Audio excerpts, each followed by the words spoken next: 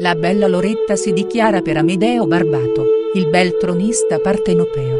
Nonostante il rifiuto, Gianmarco decide poi di raggiungere Loretta nei camerini per farle cambiare idea sulla sua decisione di frequentare solo Amedeo. La ragazza ribadisce ancora una volta le sue convinzioni e confessa tutte le cose negative che l'hanno allontanata da lui.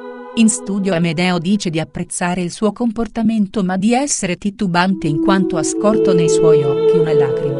Loretta confessa che, dopo l'ultimo incontro con Gianmarco, non ha fatto che pensare a lui. Si passa così all'esterna con la new entry Cecilia, per una passeggiata in lago e una prima chiacchierata di conoscenza.